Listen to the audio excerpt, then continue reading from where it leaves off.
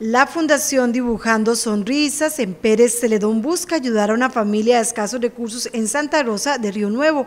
La agrupación dio a conocer este caso con el fin de llevarles alegría. Detallaron que el caso de Dominica Castro un bebé de un año y cuatro meses que vive junto a sus padres Steven Castro y María José Ureña. Esta familia, al igual que muchas otras, sueña con algún día tener su lote con su casita propia pero este sueño parece un poco difícil de lograr para ellos, más que ahora están desempleados. Viven en una casita muy humilde e improvisada de 15 metros cuadrados y en las cercanías de una quebrada. Está construida con todo tipo de materiales que han sido comprados o incluso regalados por vecinos, conocidos y familiares.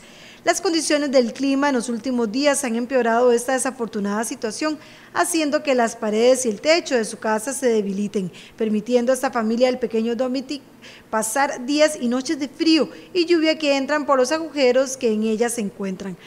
Por lo tanto, quieren ayudar a reparar su humilde casa y que el pequeño Dominic y su familia goce de calidez en su hogar. Si usted quiere donar materiales de construcción, no importa que sea segunda siempre y cuando se encuentre en buen estado, comida, ropa, cobijas, un aporte económico de cualquier monto, incluso mano de obra, puede comunicarse por medio de WhatsApp al 83 48 42 46. En la Fundación precisa que cualquier ayuda será bien recibida.